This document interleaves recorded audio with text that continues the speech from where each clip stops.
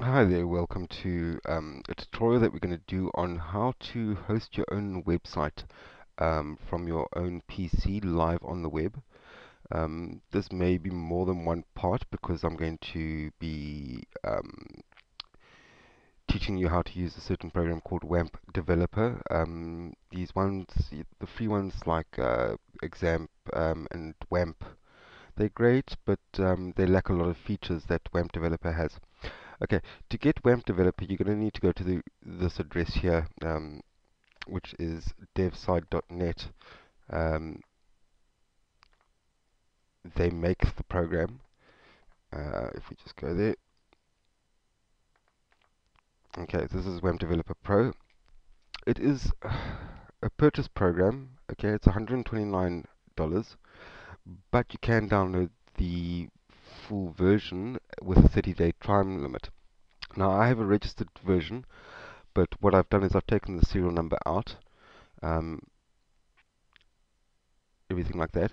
Um, what you can do is you'll see if I try and launch it, it'll tell me that my product is now expired. Okay, I've used 30 days.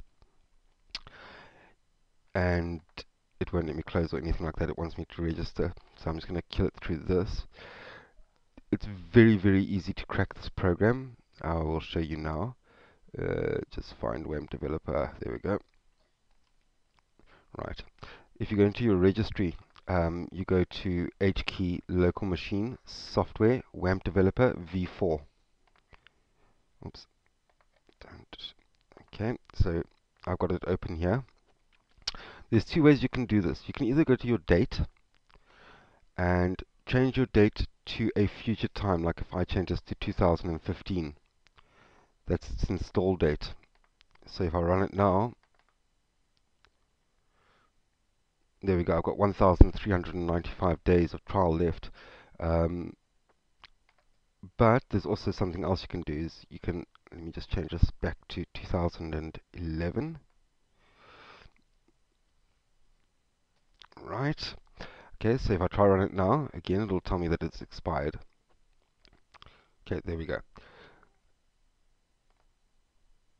To permanently get rid of the activation problem, in your in the in the same registry key, um, create a new value, a string value, and call it serial. Okay, for your serial, put in anything you want. Doesn't matter. Close it down. Now when you boot WAMP Developer, it's registered. There we go. Okay, so now that we've got that done, um, basically once you've downloaded it, you're just going to run a file. Um, it installs itself. You don't have to worry. Um, best to install it either on your C drive or your D drive in the root directory. It'll create a directory called WAMP Developer. Um, I've got mine at the moment for this tutorial on the C drive. There it is there. Okay.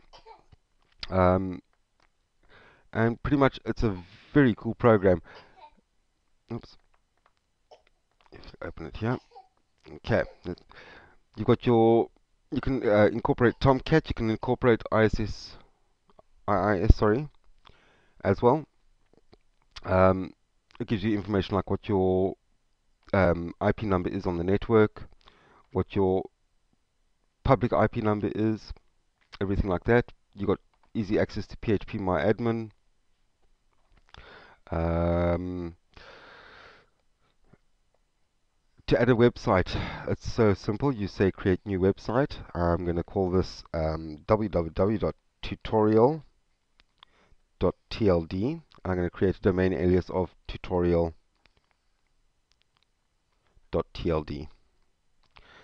Okay. Um, and just put the cache accelerator on. And then you just say continue.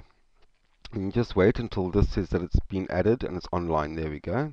So if I now click on it, and I click on website, there we go. Tutorial TLD homepage, it works. So that tells us that it's working. Okay, so now that you've got your Apache, your MySQL, your PHP all set up, okay, there's a few things you need to change. So what I'm going to do is I'm going to shut down my Apache. Okay, right. You want to go into your WAMP developer and you want to go to config, PHP, PHP INI. Okay. The first thing you want to search for is you want to search for short open tag. Okay. So you Control F, put in. you can just put the word uh, the word short in. That's enough. Um, it'll search for it. Uh, find next. There we go. Um, originally that's set to off. You want it to set on. Okay. What that is, a short open tag is um, for PHP. You can either start PHP like that, or you can start it um, like that. Okay. Um, if you don't have short open tag on, it doesn't recognize that as the beginning of PHP. Um, and you want that. A lot of script writers still use the short open tag. So you've changed that. The next thing you want to look for is post max size. Okay, um, this is the uh, maximum amount of uh, data that's allowed to be posted. I normally change this to 1024. Okay, and then you also want to search for upload max file size. This is how much, you know, like sometimes when you're on, uh, especially if you've got free hosting or something, your maximum uploads like between 2 to 5 megabytes. Well, this is where you change it. So I'm going to change that to 1024 so I can upload a gigabyte at a time. Okay. And then the last thing you want to search for quickly is your mail function. Okay. This a lot of people don't know about this. Okay, here's your mail function here. Um,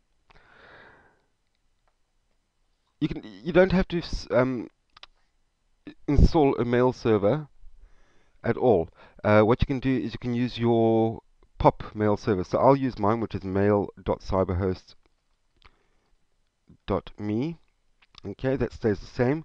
Send mail from, you've got to take that little mark out of there, and it's coming from admin at cyberhost.me. Okay, once you've done that, you can save everything. Okay, we've now changed uh, everything that needs to be changed. You can close that then you can restart your WAMP developer. Okay. Um, I just want to make a quick PHP info.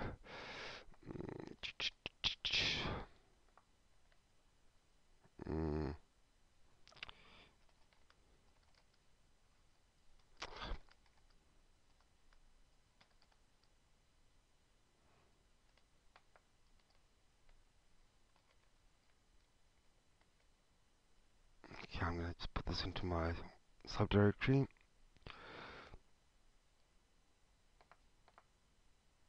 Let's see if I created it correctly. I always get confused. Uh, oops. Websites. Default website. Webroot. php.php. .php. So now if I go to localhost. I go php.php. There we go. So there's my info. And um, if I look for um, max, um, or let's say upload.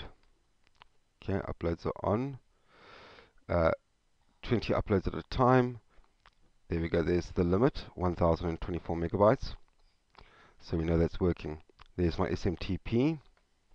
So we know that's working. So